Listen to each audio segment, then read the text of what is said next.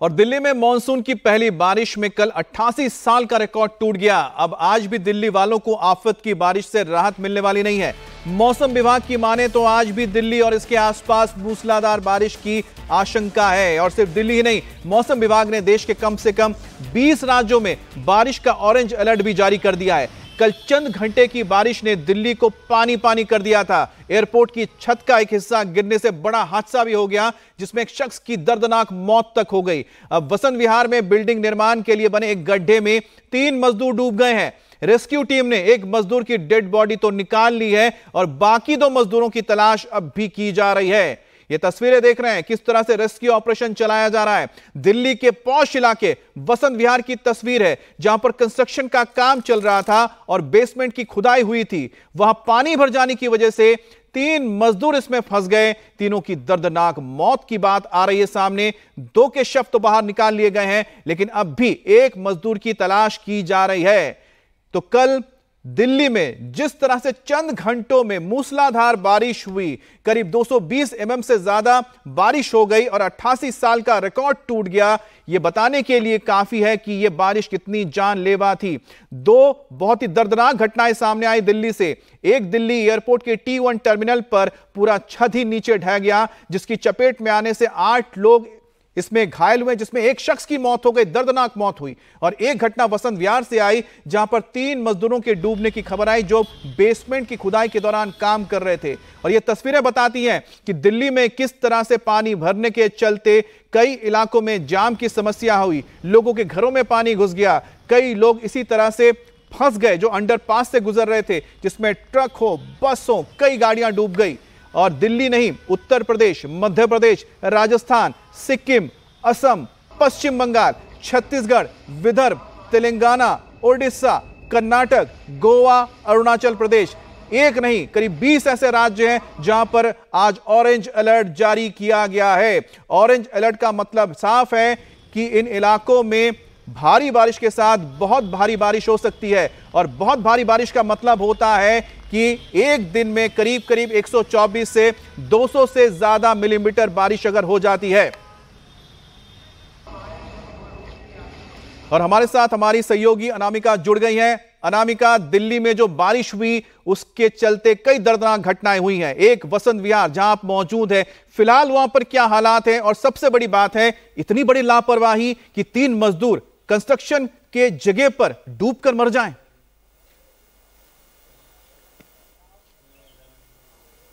बिल्कुल, अमित, इस समय हम वसंत विहार में ही मौजूद है हम पहला अपडेट आपको दे दें कि जो पूरा रेस्क्यू ऑपरेशन है वो कंप्लीट कर लिया गया है। लगातार तेईस घंटे तक कवायद की गई, जो अंदर लोग फंसे हुए थे उन्हें निकालने की। और अपडेट ये है कि तीन मजदूर फंसे हुए थे। तीनों का शव जो है वो एनडीआरएफ और दिल्ली पुलिस और दिल्ली फायर सर्विस की टीम ने निकाला है। अभी जो आखिरी डेड बॉडी थी उसे भी निकाल लिया गया है। एक तस्वीर हम आपको दिखाएँगे कि अंडर कंस्ट्रक्शन घर था, जिसके सामने कुछ पेड़ थे, वहीं झुग्गी बना के ये मजदूर रह रहे थे। जब बहुत बारिश हुई तो पेड़ नीचे धसा, झुग्गी जो उनकी छोटा सा उनका घर था, अस्थाई घर, वो भी अंडर कंस्ट्रक्टेड घर में जाके गिरा अगर आप देख पाए तस्वीरों में तो कम से कम 20 से 30 फीट गहरा है। बारिश बहुत ज़्यादा हुई, पानी भर गया। जब तक मौके पे रेस्क्यू की टीम पहुँची, तब तक एक से दो घंटे हो चुके थे। और सुबह जो है, सुबह के करीब इस ऑपरेशन को दोबारा शुरू किया गया, क्योंकि पानी भरा हुआ था। पहले पंप के माध्यम से पानी निकाला गया। आप क्रेन्स देख सकते हैं कि पूरी कोशिश की गई कि 20 से 30 फीट जो गड्ढा है, उससे जो है रेस्क्यू ऑपरेशन किया जाए। लेकिन अब जाके 23 घंटे बाद ये रेस्क्यू ऑपरेशन हुआ है और जो तीन मजदूर यहाँ फंसे थे, उनमें से किसी को नहीं बचाया जा सका।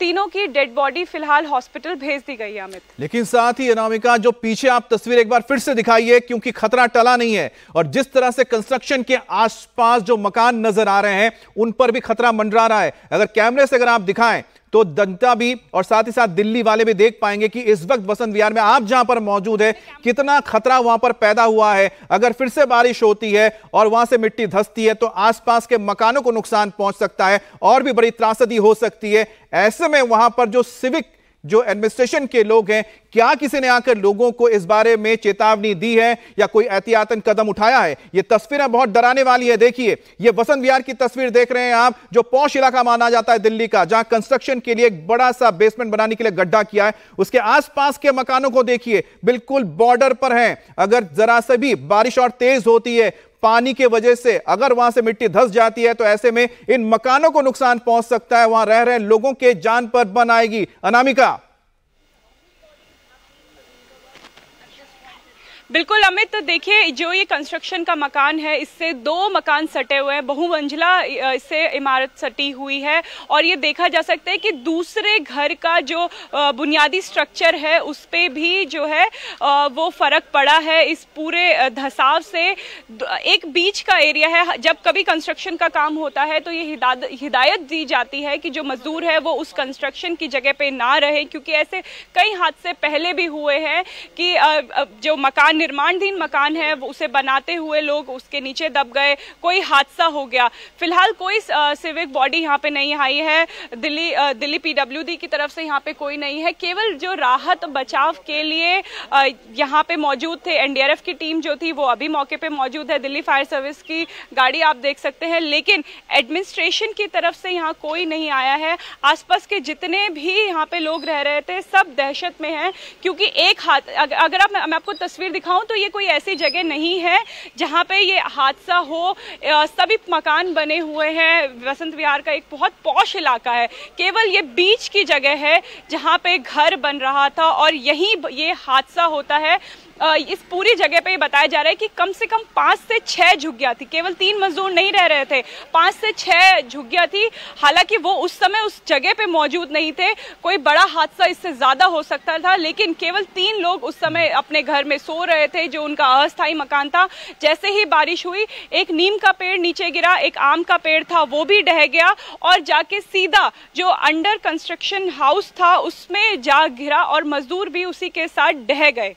बिल्कुल अनामिका जो तस्वीरें हैं वो चिंता में डालने वाली हैं। कि आखिरकार दिल्ली के पौष इलाके में इस वक्त भी खतरा मंडरा रहा है। आसपास के जो मकान आप दिखा रही हैं, उन पर खतरा बना हुआ है, क्योंकि हम देख पा रहे हैं तस्वीरों में कि किस तरह से मड स्लाइडिंग हुई है। जब बारिश आकर धूल मिट्टी से मिल जाती है, मिट्टी से मिलती है तो फिर वो मड बनता है और स्लश जो होता है धीरे धीरे नीचे खिसकने लगता है, जिससे लैंडस्लाइड्स होती है। और ये स्लाइडिंग थी लैंडस्लाइड था, जिसके चक्कर में दो पेड़ गिर गए। लेकिन आसपास अगर फायर जो टेंडर्स के लोग मौजूद हैं, उनसे भी जरा जानिए कि क्या यह खतरा आसपास के मकानों पर नहीं है। अगर फिर से कल की तरह बारिश होती है, जो ऑलरेडी एक मौसम विभाग की ओर से चेतावनी दी जा चुकी है ऑरेंज अलर्ट है। अगर 200 सौ mm से ज़्यादा बारिश होती है तो आप समझिए कितना फ्लो होगा। इन मकानों के ऊपर क्या खतरा नहीं मंडराएगा? क्या इनको चेतावनी दी गई है? अगर आप बात कर सकें।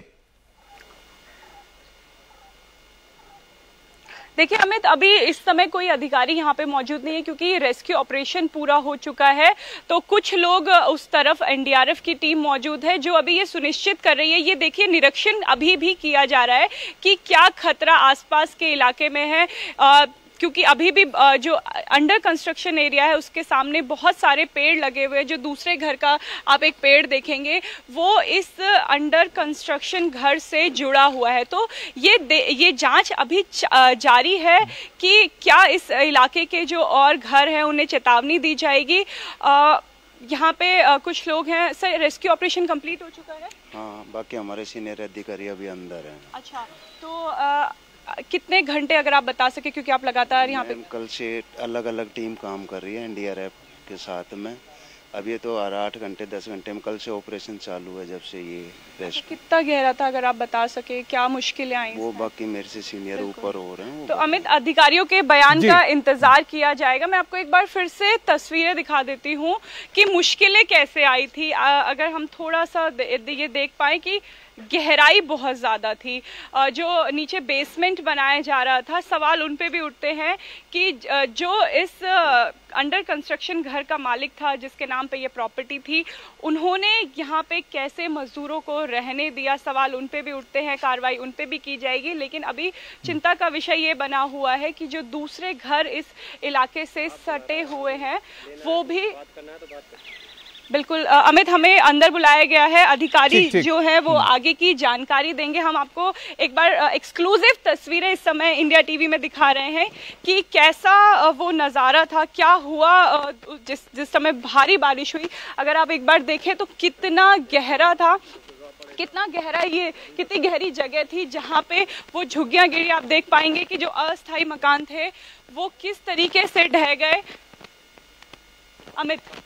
जी हाँ, इस समय हमारे साथ एनडीआरएफ की एनडीआरएफ से हैं सर मैं आपसे जानना चाहूँगी कि क्या हुआ था और अभी क्या स्थिति है? मैम कल हमको रिपोर्ट मिला था कि 10 बजे एक अंडर कंस्ट्रक्शन बिल्डिंग के बेसमेंट में तीन लोग फंसे हुए हैं। तो हमारा टीम 10 बजे आया था और we did operation for almost 24 four hours और 24 घंटे तक हमने ऑपरेशन किया और तीन डेड बॉडी था हमने निकाल दिया अभी। अभी लास्ट डेड बॉडी जस्ट अभी निकाला। सर हम देख पा रहे हैं कि जो आसपास के घर हैं वो इससे सटे हुए हैं। आज भी बारिश का अलर्ट है। पेड़ धसाव ज़मीन का धसाव यहाँ पे लगातार हो रहा है। तो क्या आसपास के घर घरों को भी इस समय खतरा है? नो मैम उसके बारे में नहीं। हम इधर ऑपरेशन के लिए आया था। जो हमारा टास्क था जो भी हमने तीन डेड बॉडी था हमने वो निकाल दिया और पुलिस को हैंड ओवर कर लिया फॉर फर्दर प्रोसीजर जी अमित तो अभी फ़िलहाल तीन डेड बॉडीज को निकाला गया है। आप अगर तस्वीरों में देख पाए तो जो पूरा घर था उनका गैस सिलेंडर सब कुछ ढह गया पेड़ के साथ। और जो रेस्क्यू में दिक्कतें आई वो इसी वजह से आई कि गहराई जो थी वो बहुत ज़्यादा थी। मलबा पूरा फंसा हुआ था इसलिए क्रेन्स का इस्तेमाल किया गया। ये जो अभी आपको पूरा खाली दिख रहा है ये इस समय खाली नहीं था। पानी को यहाँ से निकाला गया। 20 से 30 फीट पानी भरा हुआ था। जब पूरा पानी निकल गया, उसके बाद ये मुमकिन हो पाया कि जो डेड बॉडीज थी, उन्हें देखा जा, देखा गया, फिर उन्हें निकाला गया। अमित। बिल्कुल, जो तस्वीरें आप दिखा रही हैं, अनामिका, उससे ज़ाहिर होता है कि ये जो जगह है, एक तरह से मौत का कुआँ बन गया तीन लोगों के लिए। लेकिन अभी भी खतरा टला नहीं है। आप देख सकते हैं कि कितनी यहाँ पर गहरी खुदाई की गई है। हालाँकि पाइलिंग की जा रही है। वहाँ पर कंक्रीट के यहाँ पर आप देखिए कि जो रॉड्स लगाकर उसे सीमेंट के ज़रिए अभी मज़बूत किया जा रहा है। लेकिन बहरहाल जिस तरह से बारिश हो रही है और जिससे तेज़ी से मूसलाधार बारिश हुई है और जो अलर्ट है वो कहीं ना कहीं अनामिका आगे के लिए खतरे की घंटी है। वहाँ मौजूद कुछ अगर लोगों से आप बात कर पाए किस तरह से इस वक्त पेड़ों को हटाया जा रहा है और क्या इस साइट पर आगे काम हो पाएगा? क्योंकि अगर काम होता है तो खतरा बरकरार रहेगा और साथ ही साथ एक बार फिर से कोशिश कीजिएगा उन घरों के करीब जाने के लिए जो आसपास हैं क्योंकि उनके ऊपर भी खतरा मंडरा रहा है। सर एक और मैं आपसे चीज़ जानना चाहूँगी क्योंकि यहाँ पे जो पेड़ गिरे हुए हैं इन, इन्हें भी यहाँ से हटाया जाएगा क्योंकि ये भी खतरा है कि अगर यहाँ से कोई आसपास का आदमी गुजरता है या ऐसे ही कोई बच्चा आ जाता है उसके लिए भी खतरा है। मैम वो हमने जो ऑपरेशन में जितना ज़रूरत है हमने निकाल दिया। हाँ। बाकी तो जो डिस्ट्रिक्ट एडमिनिस्ट्रेशन है दे विल एडमिनिस्ट्रेशन फ़िलहाल एडमिनिस्ट्रेशन की टीम यहाँ पे है? पुलिस है फायर दिल्ली फायर सर्विस है यस अमित अभी केवल जो कोशिश थी कि अगर अंदर कोई फंसा हो क्योंकि दो डेड बॉडी सुबह निकली थी जो आखिरी व्यक्ति है ये उम्मीद में उम्मीद की जा रही थी कि उसे सही सलामत निकाल लिया जाए लेकिन क्योंकि बहुत देरी से उस तक पहुँचा गया था जो रेस्क्यू ऑपरेशन था वो बेहद मुश्किल था। इस वजह से तीनों जो मजदूर थे उनकी इस दर्दनाक हादसे में मौत हो गई और हम आपको वो तस्वीर दिखाएँगे जो दो घर इससे सटे हुए हैं। बहुत नज़दीक हम भी नहीं जा पाएँगे क्योंकि ये जो ये जगह है यही जगह धसी थी तो कैमरे में हम आपको जूम करके दिखा रहे हैं कि दो आपको घर दिखेंगे एक सफ़ेद अगर कोशिश कर सके अगर कोई आपको स्थानीय यहाँ पर व्यक्ति मिल जाए, जिनके मकान यहाँ पर है, क्या उनको डर लग रहा है? लेकिन उससे पहले एक और खबर भी हम बता देते हैं कि दिल्ली में कल के बाद आज फिर से बारिश को लेकर ऑरेंज अलर्ट दिया गया है। तो दिल्ली वाले सावधान रहे। दिल्ली के तिलक नगर में बारिश हो रही है। मतलब अब आज भी दिल्ली वालों को आफत की बारिश से राहत नहीं मिलेगी। गर्मी से राहत मिलेगी, उमस से राहत मिलेगी, लेकिन खतरा रहेगा। मौसम विभाग की माने तो आज दिल्ली और इसके आसपास मूसलाधार बारिश की आशंका है। सिर्फ़ दिल्ली ही नहीं, मौसम विभाग ने देश के 20 राज्यों में बारिश का ऑरेंज अलर्ट जारी कर दिया है। राजधानी दिल्ली में भीषण गर्मी के बाद अब राहत के मानसून ने एंट्री ले ली है। राजधानी दिल्ली में बीते दो दिनों से लगातार बारिश हो रही है और आज भी मौसम विभाग ने बारिश का अलर्ट जारी किया है। मौसम विभाग के मुताबिक राजधानी दिल्ली और एनसीआर के कई इलाकों में अगले दो घंटे में बारिश हो सकती है। साथ ही उत्तर भारत में भी मानसून ने एंट्री ले ली है। मौसम विभाग के मुताबिक राजस्थान, मध्य प्रदेश, बिहार, उत्तर प्रदेश, हरियाणा, उत्तराखंड के कई इलाकों में आज बारिश के आसार है। तो आपने अनामिका की रिपोर्ट देखी और जिसमें यह भी बताया गया कि सिर्फ़ दिल्ली नहीं है 20 राज्य हैं जहाँ पर इस वक्त ऑरेंज अलर्ट जारी है। तो सावधान रहे क्योंकि वाटर लॉगिंग की समस्या भी लोग दो चार हो रहे हैं। एक बार फिर से आपको दिखा रहे हैं, वसंत विहार की तस्वीर जहाँ पर तीन मजदूरों की जान चली गई। बरसात इतनी ज़्यादा हुई कि अंडर कंस्ट्रक्शन बेसमेंट में एक झुग्गी जाकर नीचे धस गई। ये देखिए, वो झुग्गी है जहाँ पर मजदूर रह रहे थे और अचानक ही तेज बारिश के बाद ये झुग्गी ढह जाती है उसके साथ पेड़ भी ढह जाता है और मजदूर इस मलबे के साथ नीचे पानी के गड्ढे में जा गिरते हैं। अनामिका ये जगह जरा और करीब से दिखाएँ वो मकान भी दिखाएँ जिनके ठीक सामने ये घटना घटी है और उनके ऊपर भी इस वक्त खतरा मंडरा रहा है। आ, बिल्कुल अमित अगर आप तस्वीरों में देख पाए जो ये सफ़ेद मकान है इसकी बुनियाद जो है वो हमें साफ़ दिख रही है जो पिलर्स हैं इस इस कंस्ट्रक्शन साइट के और उस मकान की दीवार आप, आपस में जुड़ी हुई है। अगर आज बारिश होती है और जिस तरीके से कल बारिश हुई 120 128 एमएम अगर इतनी ही बारिश अगर आज भी होती है तो इस इलाके में और मुश्किलें बढ़ सकती हैं। जो ये सफ़ेद घर है इसके लिए खासकर ये सबसे इस समय डेंजर जोन में हालाँकि जब इन्होंने अपना घर बनाया होगा तो पूरा नक्शा पास कराया होगा।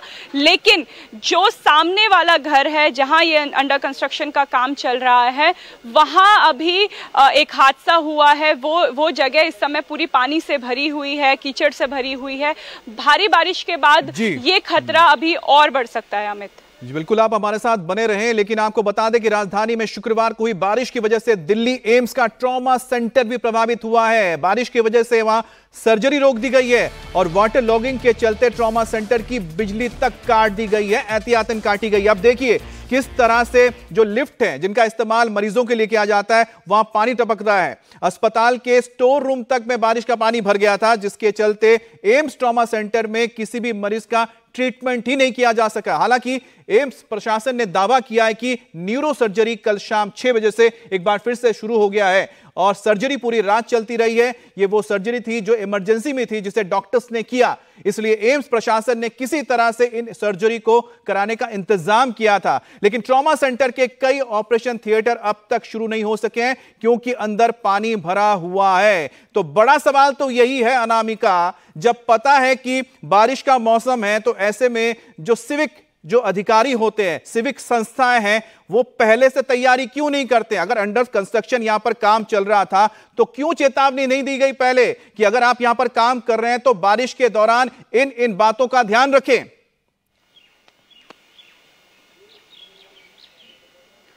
बिल्कुल अमित, कल जब दिल्ली में भीषण बारिश हुई तो ऐसे बहुत से चीज़ें उजागर हुई। एडमिनिस्ट्रेशन का फेलियर ये पूरी तरीके से कहा गया, माना भी गया।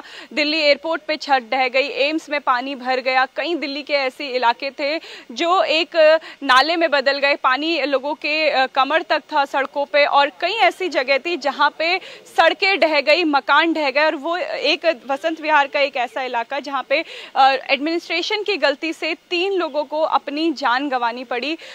हर बार हम ये आपको पहले भी बता चुके हैं कि जब कोई कंस्ट्रक्शन का काम किया जाता है वहाँ पे हिदायत दी जाती है कि कोई जो मजदूर है जो उस घर को बना रहा है उसके आसपास नहीं रहेगा।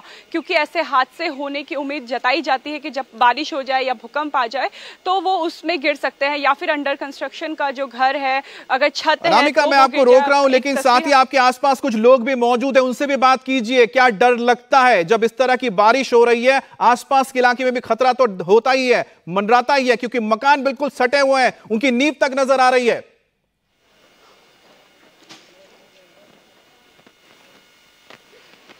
देखिए अमित इस समय जो लोग यहाँ पे मौजूद हैं, ये सब दूसरे जगह में रहते हैं। ये भी उन्हीं मजदूर लोगों के साथी थे जो ये देखने आए हैं कि इस समय यहाँ पे हो क्या रहा है, क्या उनकी स्थिति ठीक है।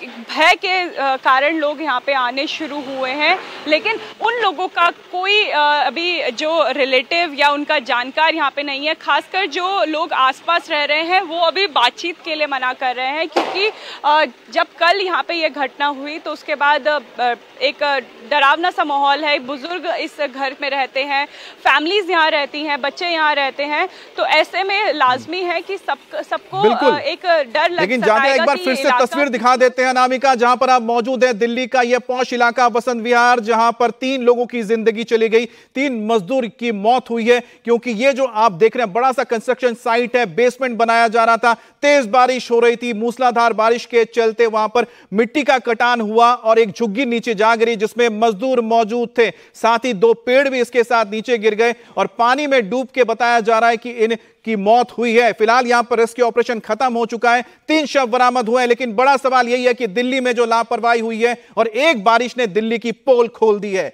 अब दिल्ली में भारी बारिश के बाद एयरपोर्ट हादसे पर सरकार ने भी एक्शन लिया है। Civil aviation minister Ram Mohan Naidu हादसे को लेकर मीटिंग कर रहे हैं, जिसमें फैसला लिया गया कि देश के सभी एयरपोर्ट की समीक्षा होगी और साथ ही सभी हवाई अड्डों की डिटेल में रिपोर्ट मांगी गई है। आदेश दिया गया है कि दिल्ली एयरपोर्ट पर हुए हादसे की जाँच के लिए एक कमेटी का गठन हुआ है, जो जल्द ही इस पर जाँच रिपोर्ट देने जा रही है। वहीं घटना पर जमकर सियासत भी चल रही है। केंद्र सरकार पर सबसे ज़्यादा हमला आम आदमी पार्टी कर रही है। अब आम आदमी पार्टी ने केंद्र सरकार के सभी बुनियादी ढांचे के निर्माणों की सीबीआई जाँच की मांग की है। इसके इसके बारे में मैं क्लैरिफिकेशन दे दूँ कि जो प्रधानमंत्री साहब जो इनोग्रेट किया वो दूसरा बिल्डिंग है दूसरी तरफ़ है। जो यहाँ कोलैप्स हुआ है वो दो, दो हज़ार नौ में 2009 में पुरानी बिल्डिंग है 2009 में जो उस टाइम ओपन हुआ था। तो उसके ऊपर जो इंस्पेक्शन करना है वो अभी करवाएँगे। अयोध्या में हज़ारों करोड़ खर्च का करके पहली बारिश में ही प्रभु श्री राम के मंदिर का गर्भगृह वहाँ पे पानी गिरने लगा। सड़कें टूट गई गड्ढे बन गए। उसके लिए हम जिम्मेदार हैं। बुंदेलखंड एक्सप्रेस पे जाइए, गड्ढे ज़्यादा मिलेंगी, सड़क कम मिलेगी। हम जिम्मेदार हैं उसके लिए। मोरवी का पुल टूटा, डेढ़ सौ लोग मर गए, अटल सेतु टूटा, टर्मिनल वन टूटा, जबलपुर का टर्मिनल टूटा। इन सब के लिए हम जिम्मेदार हैं। तो भाजपा को अपने गिरबान में देखना चाहिए और उनकी जो ज़िम्मेदारी है, उसको ठीक करें।